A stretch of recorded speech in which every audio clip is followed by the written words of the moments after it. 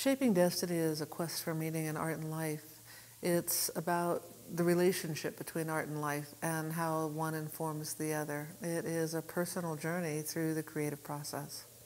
Shaping Destiny is deeply personal. I think artists, women, well, most people in the world are are often taught to be quiet about the things that uh, the moments in their lives that shape them those really power punch moments. And we, we go through them, we endure them, we grieve them, we celebrate them, and then we push them off to the side so that we can get through our everyday. And it's those moments, those cathartic moments when we are fully bare in life that we learn the most about ourselves.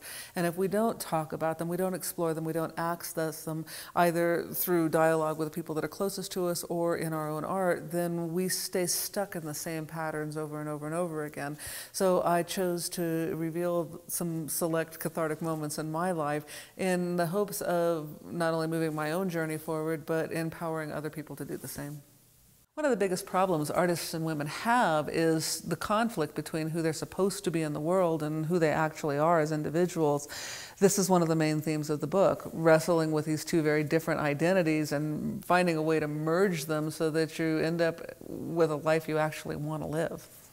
As an artist, I spent most of my life wrestling with what art is, what it means, art with a capital A, art for art's sake, first class art, first rate art, the best art. And what I finally concluded is that art is that which you are deeply passionate about, that you perform with intent and in pursuit of perfection.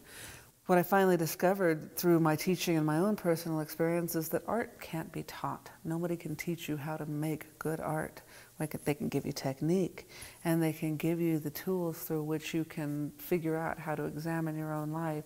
But art itself, that's something that comes from inside and something that comes from the doing. Shaping Destiny is for anybody who is at the crossroads between who they are and who they're supposed to be. Anybody who is passionate about something but doesn't know how to move that forward.